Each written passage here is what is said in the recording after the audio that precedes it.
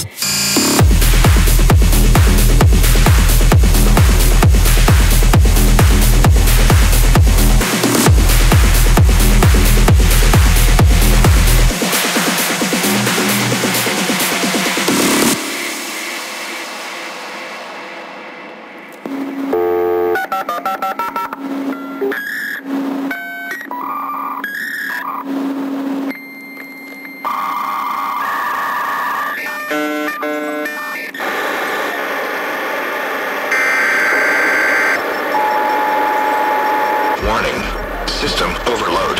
Self-destruct sequence will be activated in T minus 30 seconds.